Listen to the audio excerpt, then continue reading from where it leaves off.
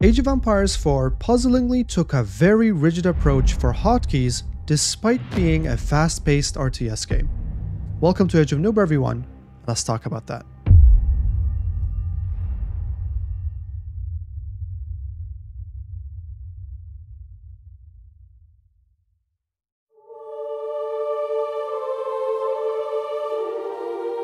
Age of Empires 4 is a beast of a game that will break down bit by bit as we approach its launch on October 28th for both the positives and the negatives.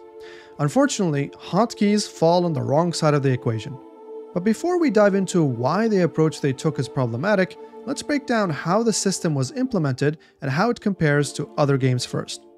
The first change that everyone immediately saw was, of course, the divided grid system. In Age of Empires 4, the buildings are no longer initially classified as economy and military for the hotkey system like in Age of Empires 2. Instead, it is initially divided into four sections the Dark Age, Feudal Age, Castle Age, and Imperial Age. The player then has a 5x3 grid that he or she will assign a key to each square. This same grid then applies to each age's corresponding buildings. Hence, the player first presses the key for whichever age the building he or she wants to construct is in, then presses the key binding for the box on the grid which corresponds to the building to be constructed. In case you're wondering whether you can move the icons in the UI around, you can't. Nor do I think you should be able to because that would be awful game design just to bind some keys. This same grid also applies to units control as well, and not just buildings, but I'll get to that in a moment. Taking all of this into consideration, you don't have to be a scientist to immediately recognize the shortcomings of this approach. So let's break this down carefully.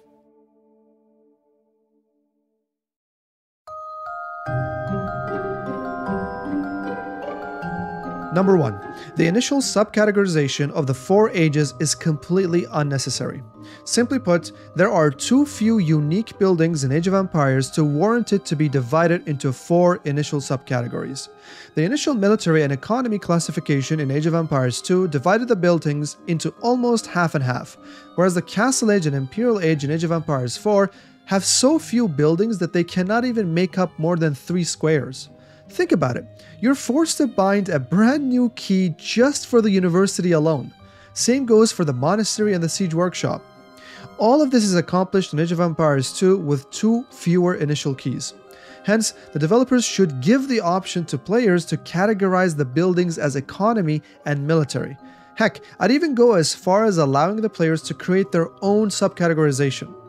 Have an advanced button somewhere and let players decide which initial buttons they'd like to assign a group of buildings to.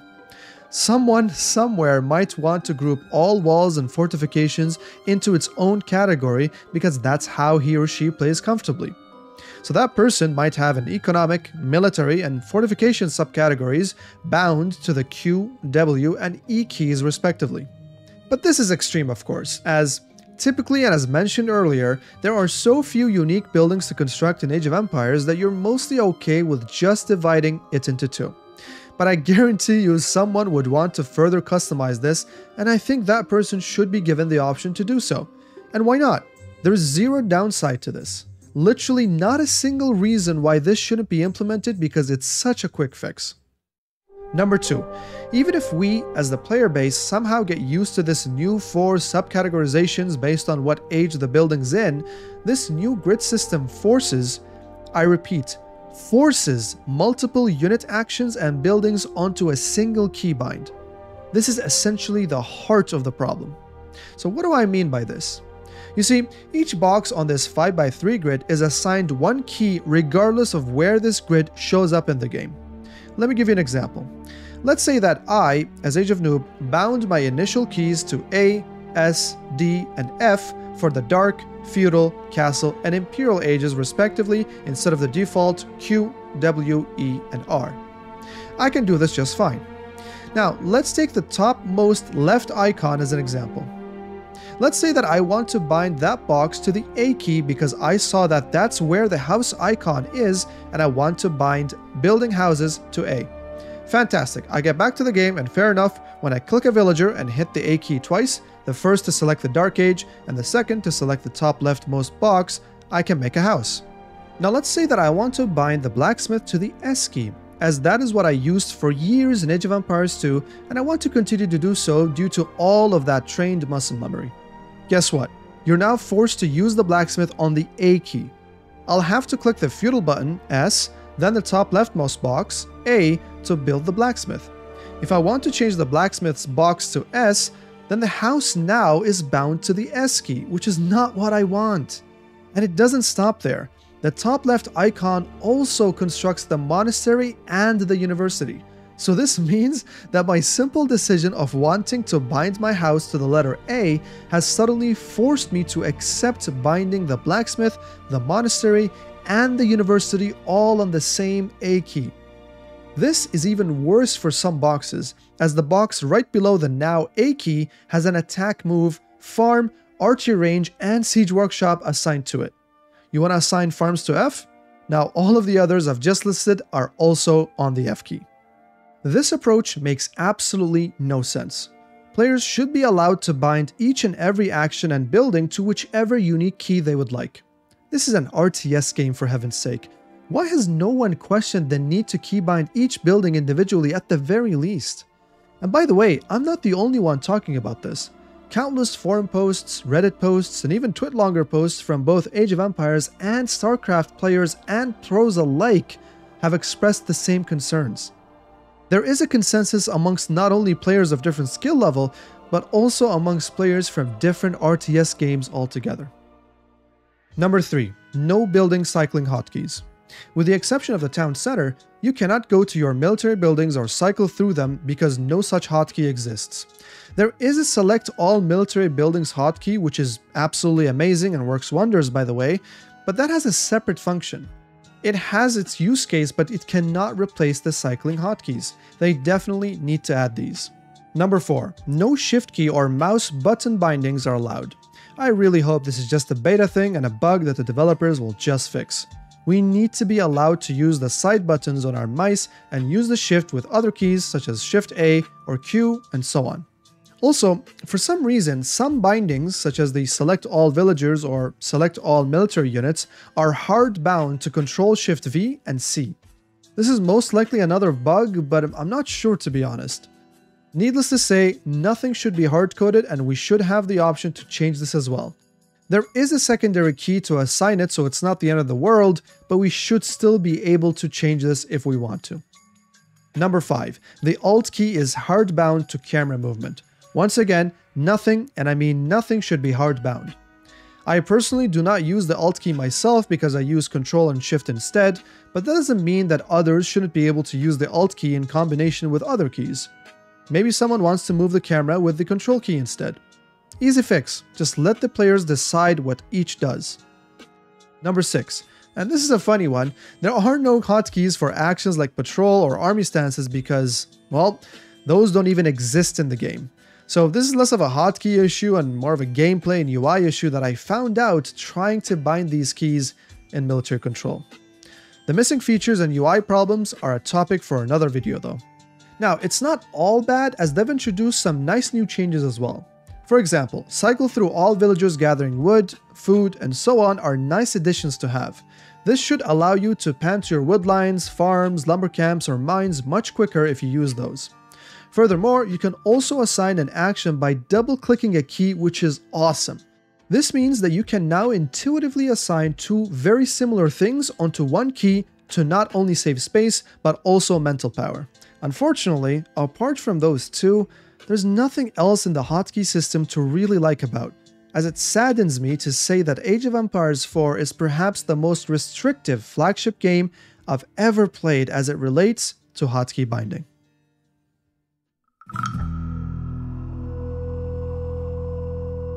Okay, if I take a step back to think about why they went out of their way to design this grid system, I may be able to put myself in the developer's shoes for a second.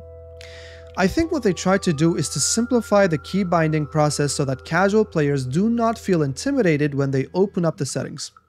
If I take Age of Empires 2 for example, its hotkey system is almost perfect as you can bind almost every single thing in the game and more onto a unique key, including the mouse buttons. But you know what? If I look at it from the lens of a new player coming in, it's an absolute nightmare and definitely intimidating.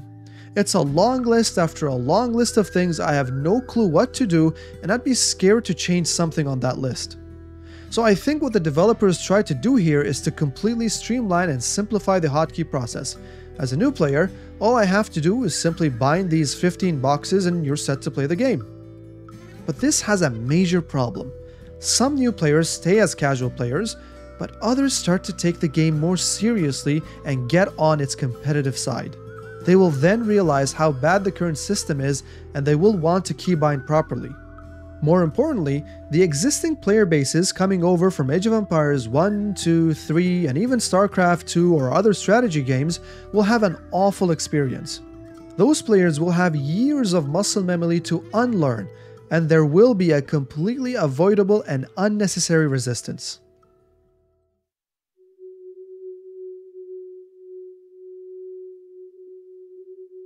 As I indicated previously, I actually think the grid system being the default option for newcomers is a good thing. In fact, I think previous entries like Age of Empires 2 could benefit from having some sort of simplified approach similar to this as well, instead of being thrown into multiple long lists for new players. I remember a non-gamer friend of mine straight up refused to change the hotkeys because he was just uneasy with spending the time going through the whole list of things and get to change what they want. Age of Empires 4 will definitely attract newer players, so this simplified approach will be a good thing.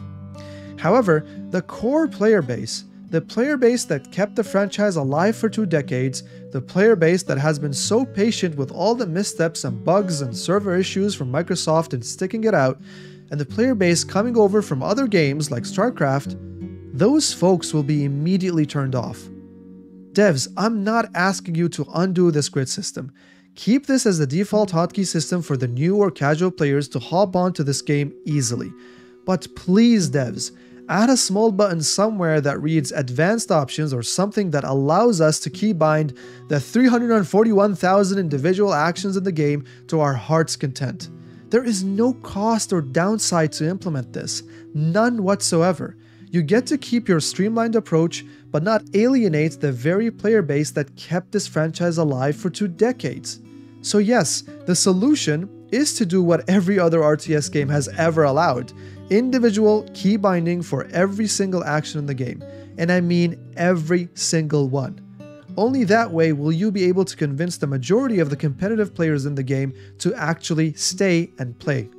Since this is one of the easiest fixes they can do to the game, this is another one of those no-brainer changes the developers must complete before launch.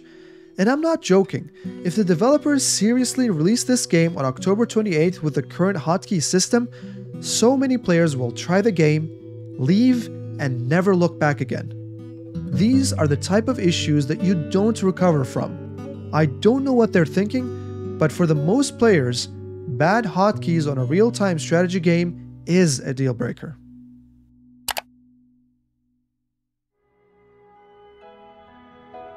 I hope all of you have been enjoying my coverage of Age of Empires 4 so far.